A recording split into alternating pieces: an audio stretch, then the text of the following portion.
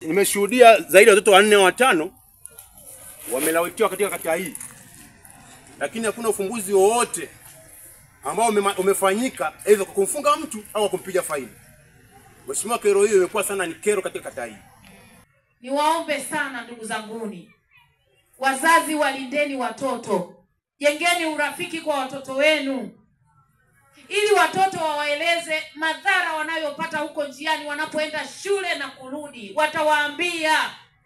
Na bahati mbaya sisi wazazi hatuwafuatilii watoto, tuko bize na kilimo cha tangawizi, hatuna muda wa kukaa na watoto wetu. Watoto wetu wameingia kwenye hivyo vitendo na wakati mwingine sio kwamba wanapenda, wanatishwa na hayo mabazazi. Tunakaa na watoto miezi tisa tumboni, kuna jitu limekuja limemlawiti mwanao. Hivi kweli unaenda kukubaliana na mtu ambaye amelawiti mtoto akulipe hela kesi iishe?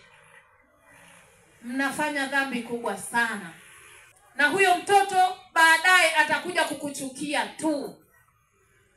Mtajenga kizazi ambacho kina uhasama mkubwa sana na wazazi. Kwa hiyo niwaombe sana, niwaombe sana, msiwafiche hawa mabazazi, wapo